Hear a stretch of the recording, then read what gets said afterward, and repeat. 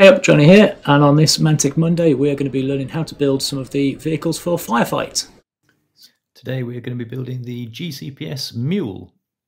We're also uh, available are the Marauder Mule and the Plague Mule, but the core vehicle is the same building for all of them, so let's get started.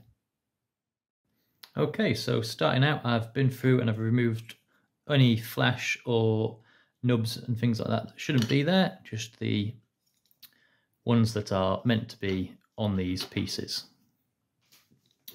You take the uh, main chassis and the back compartment.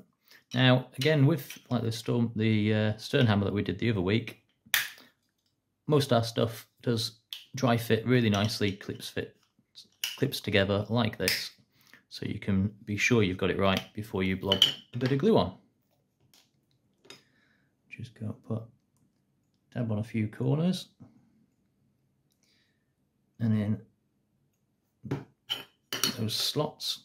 You'll see there is a little notch here where they where they line up. And then it just clamps down like that. And then we take the front compartment the this cockpit. And again these have got these little uh, pegs that just slot into these holes here.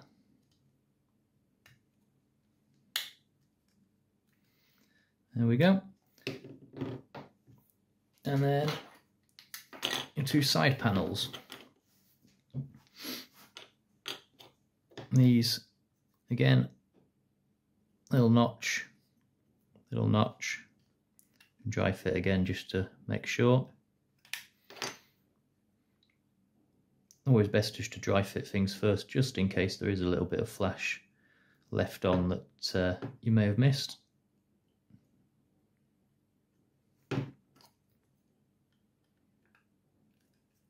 Like that and then obviously just repeat the process on the other side. Then we want to take these two side panels and these go along the back. You make sure you've got, this is the back with the little hole there, so this is for this side. And that just sits in there like that. And then what you want to do, once you've glued one side in, like so, is take your rear door and line up these holes. So like so. And if you line that up in there first then when you come to put this piece on you can get the other one on there. And better still if you're careful with whereabouts you put in your glue. It's on a hinge and therefore will stay open. So just pop that over like that. Here's a little fiddly trying to line the three different sections up, but that will go in like so.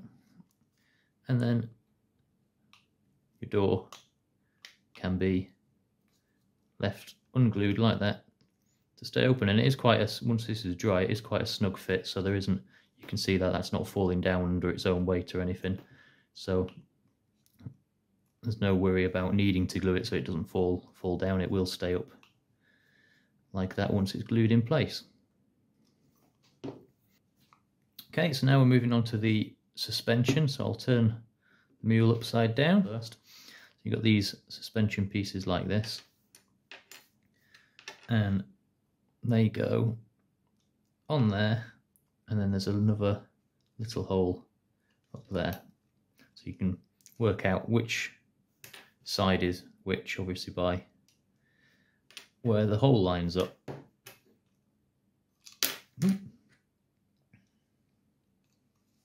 What I found is if you pop that on first and then just slide that into place like so.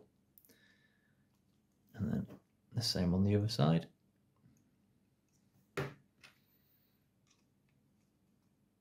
Pop that on first and then slide into position.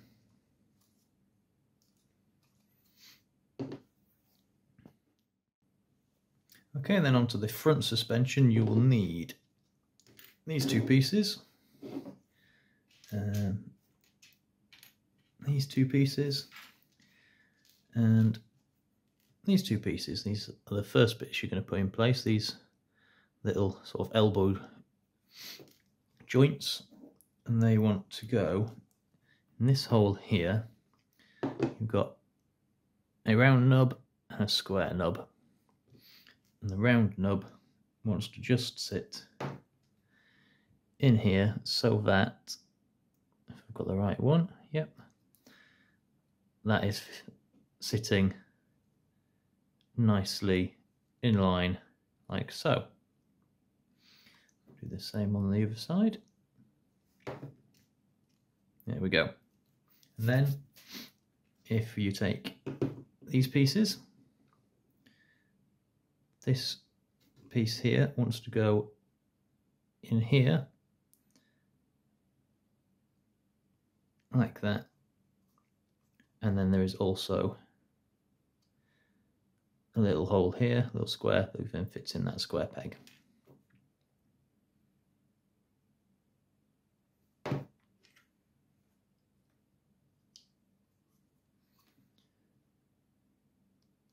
it's a sort of job I would advise trying to do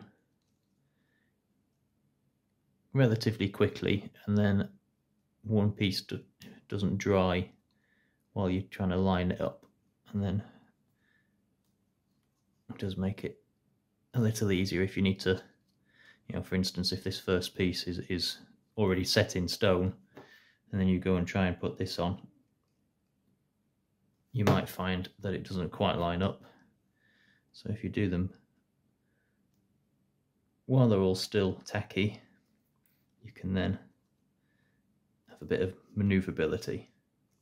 That one went on a lot nicer than the other one. There we go.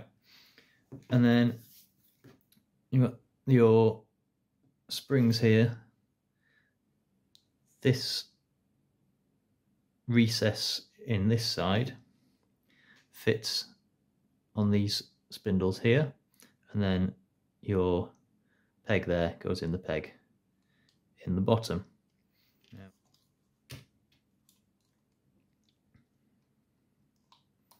And again, if it's still all a little tacky, you're able to then push that down in place without breaking what you've already done. There you go, that is all the axles done.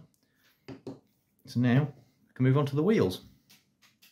Okay, so with the wheels, they will come as your tyre and your rim, I guess, if we're talking car terms, separately. I've, in Blue Peter style, done these ahead of time for UK fans that remember Blue Peter. Basically, that just pops in there. I'm not even bothering with any glue because it's such a tight fit. And then what I find is if you then push that down against the table, you'll hear a nice satisfying pop and then they are ready to go. Then Dead simple to fit these tyres.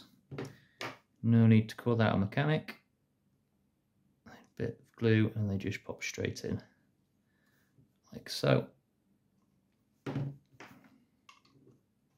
There you go. That is almost complete.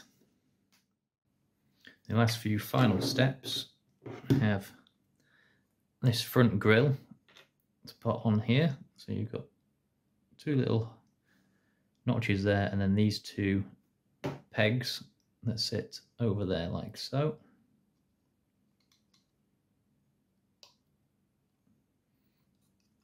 This might actually be beneficial to put on before you start putting the tyres on because then it holds these areas in place. There you go. And then we've got a back door that just sits in these recesses. One final little piece of, of trim, as it were, is these safety bars, these handlebars that just go in these holes here and here. This little slice that's out here takes the bar on the back here. Pop, pop that in like that. Spin that round into that section, and then that should just fit into there. There we go. Now on to the weapons. Okay, so weapons wise, we actually have a choice of two weapons. Um, we have the auto cannon and the laser cannon. And you get to be able to build both and switch them out. So first of all, you'll see you got these two like trigger handle sort of sections. They do look very, very similar, but the inserts for them are different and match up with the backs of the two rifles. And then you can do the same on the other one.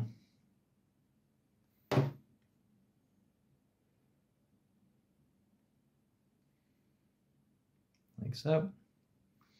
And then have these shield sort of armor armor plates. The smaller set is for the laser cannon. You'll see there's just these little notches either side that they sit in. And then there's a little notch on there. You just sit on there. Of course, these are the sort of thing that are aesthetic choices. If you'd rather leave them off, you can do. And that just sits on there like so. And then with this one, there's a slightly more prominent, sort of obvious groove down there on both sides for these to fit in. The larger plate to the top. You'll obviously be a lot more patient than me and let things dry before you start moving on. Or you might not be. You might be just as impatient to get out there and play firefight. And I would not blame you.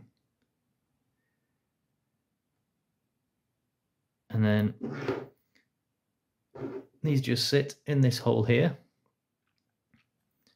And it's a nice snug fit. You can leave that without glue and then you can take that out and replace it with the other weapon. There we go. That is one GCPS mule all finished and ready for paint. Thank you very much and I'll see you again next time.